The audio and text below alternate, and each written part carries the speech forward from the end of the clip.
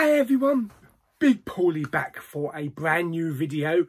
This video may be a little bit ranty, so just giving you a heads up. I went to see Fast and Furious 9 about a week ago. F9, you can't do that with a car. That's what I've come to call it. Uh, on the most part, I enjoyed the action but it took me a couple of days to think about exactly what we were seeing in the film. And a few things kind of niggled me didn't sit right and annoyed me. So uh, I drew up a top 10 list of things that I think ruined Fast and Furious 9 so let's get into it then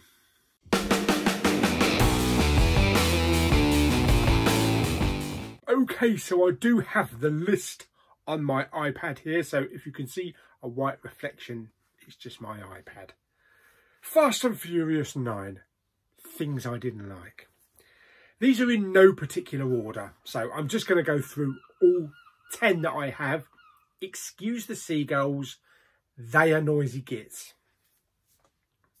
Right, first up. Dom and Jacob younger actors. Uh, now, the backstory of this was they showed us flashbacks of going back to when they were young in their NASCAR racing days. I believe it's probably NASCAR with their father.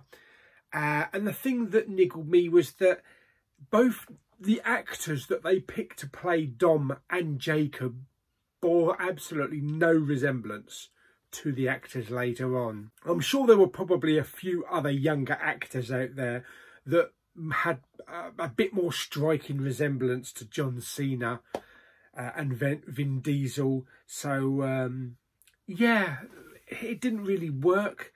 Uh, and also the height difference when they were standing next to each other didn't really work compared with later on. Okay, now probably you would think that this would be last on the list, but as I say, it's not in any particular order. Cars in space. Yeah. Even the police are coming to warn me about cars in space. Now, when we meet up with Lucas, is it Lucas Black? He's testing out this thruster, this rocket on the top of a car, which explodes in a very familiar territory. Uh, where they actually test this rocket, I swear that's actually the same location that The Force Awakens was filmed, this abandoned old RAF base or something. It looked exactly the same as where the Falcon was parked.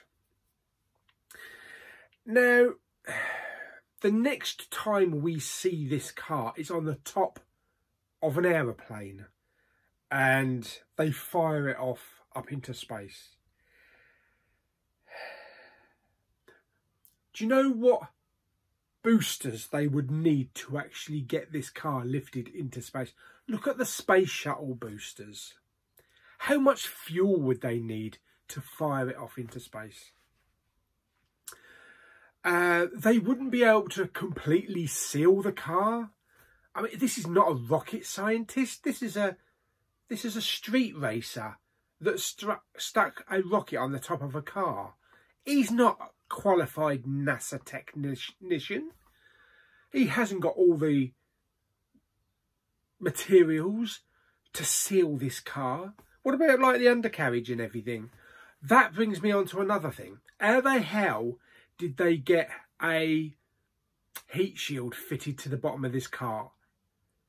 How many years does it take NASA to fit these tiles to the bottom of a space shuttle and all of a sudden it's just slapped on the bottom of it. What did it just come in one piece and they just clicked it on with Lego? No, we're not that stupid. We're not that stupid. That's the thing. it's an enjoyable film for what it is, all the action included, but there's got to be a certain amount of believability. Uh, and for me, this is a step too far. It had thrusters, so when they were in space, it had like shuttle thrusters who fitted those? I'm sure Lucas Black didn't fit them. And what about the spacesuits? Deep sea diving suits? Were these suits fitted with all this technology with all these wires heating the inside of the suit, extra layers of uh, insulation. No, it wasn't. No, it's just a, a deep sea diving suit that they probably picked off the shelf at Walmart or bought from eBay or some shit like that. Uh, and here's another thing. After they've done whatever they've done in space with this satellite, I want to know how that car survived hitting that satellite. Um, the next time we see Tyrese Gibson and Ludacris, they're down sitting eating food at a table waiting for Brian to turn up. How did they get down to Earth? They've got a steering wheel. How the fuck did they actually navigate down through the atmosphere, not get burnt up? Ah, I don't know. So, as far as science is concerned, that's a lot of bollocks, that car. Uh, the next thing on my list, magnets. Everybody likes a nice magnet. I've got shitloads of magnets on my fridge downstairs. But I couldn't pull a fucking car through the house with them. Now, we saw in the trailer they had a magnet attached to a plane. I think actually if the plane had actually tried to pick the car up, it probably would have ripped its roof off. Uh, but the bit that gets me is when they're driving through the city and they crank it up and it just throws these cars all over the place. Uh, it pulls a car through a building. From one side to the other. We don't give a crap about what's in the middle, which we will get to in a minute. And then the car just slams right into the side of that van. Doesn't knock it over, just straight into the straight into the magnet. The power behind that magnet. Yes, it pulled a few other things like some knives and forks and maybe a, a bin, a metal bin lid. It should have ripped the shit out of that building. If that magnet was that powerful, it should have ripped the metal girders out of that building and that building should have collapsed. And what about everything else metal that's in the buildings? Where's all that shit? Where's all the door handles and uh, other shit like that? So that's the magnets. Uh, my next one on the list is John Cena. Uh, John Cena, he was good in Bumblebee. I enjoyed his performance in Bumblebee. He's a shit actor. I don't know why they employ him. He has got the facial expression of a constipated turtle. No disrespect to the Teenage Mutant Ninja Turtles. They have an excuse. But John Cena can't for shit. His expressions are like, hey, John Cena, you've just won $50 billion on the uh, lottery. Yay. And it was the wrong actor to play Dom's brother. Also, when he got double crossed at the end of the film, all of a sudden he he turned. He like, oh, oh, okay, all right then, I'll be with you now, Dom. I'll help you. I suppose that's a way to write him into Fast 10. But he switched from beating the shit out of his brother and the rest of the gang. Just like that. I'll help you, Dom. Charlize Theron as Cy uh, Cipher? Cipher, yes. She was good in Fast 8. I, th I thought she was a really good female villain in Fast 8 and she had a reason for what she was doing. Here, she's kind of reduced to Javier Bardem in Skyfall. She's just sitting on her ass in a plastic box, not doing anything. When she does get out, she types a couple of keys and that's it. Pretty much wasted through the entire film. That crap villain that was that uh, Jacob was working for. What the point was he? Why didn't they just get him out? Why wasn't it John Cena and she, he was working for Charlize Theron? That would have been more believable. So yeah, that that crap villain, he had no purpose in the film. Right, before we continue, um, I do have a special guest who's going to share some of his thoughts on the Fast and Furious 9 film. So, Rob, take it away. Hello, this is Rob from Rob Effects Bounty, and what are my thoughts on F9? So here we have Fast 9, a film series that's all about family, but we only find out in the 10th or 9th installment that Dom has a brother. Mm. So we have a returning Lucas Black. It's good to see him again. He doesn't look the best at the moment. Looks like a, a pop vinyl figure, to be honest, with massive head. And between this film, or Tokyo Drift and this film, he's now become a rocket scientist. What? We also have Vin Diesel. You know, his role in this film is like Hobbs's role in the other films. You know, he's he's superhuman. You know, the bit where he's fighting about 30 Agent Smiths pretty much when he pulls the building down. It's absolutely ridiculous. He falls so high. And literally, he's the only one that survives that scene. This film is a fucking joke. I've already expressed my feelings about John Cena in my video. Now his expression for the whole film is...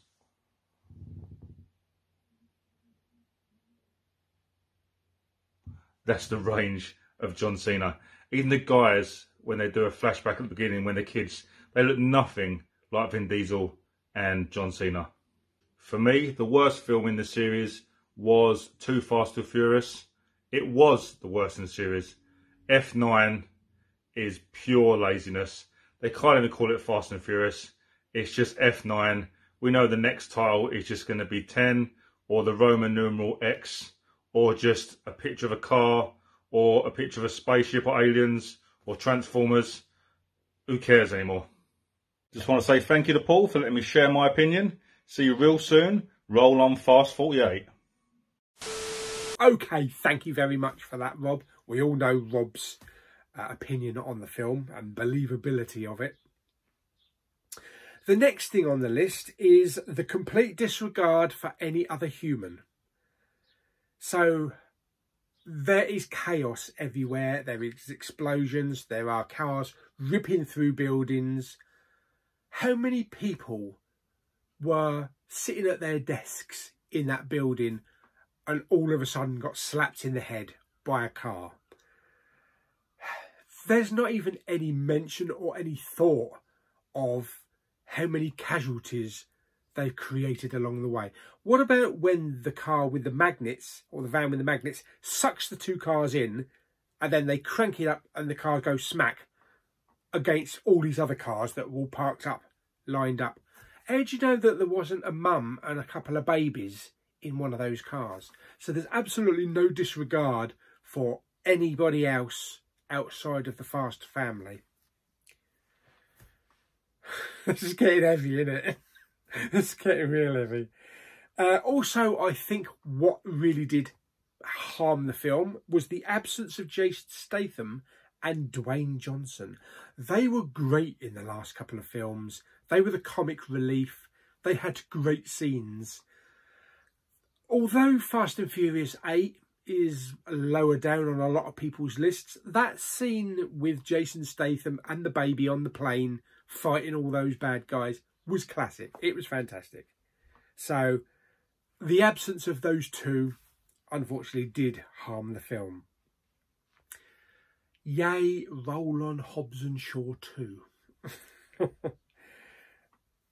uh, next on my list is um, hardly a scratch on any of the cast members. Yes, it takes an awful lot of shit to ruffle someone's clothes or put a little scar down their face. That scene where Dom and Letty jump off the edge of the cliff it gets attached by a piece of string, it Tarzan style. They flip it over, it rolls about a thousand times on the other side. The windscreens are smashed and that. Letty just looks at Dom like, hmm, this is pretty good. not a scratch on them. It's like Die Hard. It's like the, the the original Die Hard. You felt for Bruce Willis, especially like when he was walking across that glass. That T-shirt was never white. Um, but when it came to Die Hard Five, the last Die Hard, you could throw a fucking nuclear weapon at Bruce Willis and he still wouldn't have a dirty T-shirt or a scar down his face. So yeah, uh, they were invincible. All these casts were invincible. There was no danger, so you knew that they were going to survive. Uh, and the scene at the end when Charlize fires the missile from the plane onto the lorry before it rolls off the cliff and Dom jumps out of the cab that is a shit piece of special effects. Absolutely shit. The way that he jumps out. It's like, oh, that's clearly CGI. And it's bad CGI as well. Uh, next on my list is Mia uh, joins Letty for action while Brian babysits. Brian would never let Mia go out put herself in danger, put her life in danger, the mother of their baby, while he sits at home changing shitty nappies and feeding Farley's Rusks to a baby. Never. Get a babysitter and then Brian can come out and help. So, yeah, they should have left Maya out of it. Left, just, that's the reason for writing them out obviously with what happened to Brian, you know, Paul Walker. But let them simmer to the side. That's another thing. I enjoyed the scene right at the very end when the car pulled up and we knew that it was Brian. But I would have liked his brothers to be involved and maybe a CGI'd Brian walking to the the table, sitting down and smiling and digging into his food. That would have been good.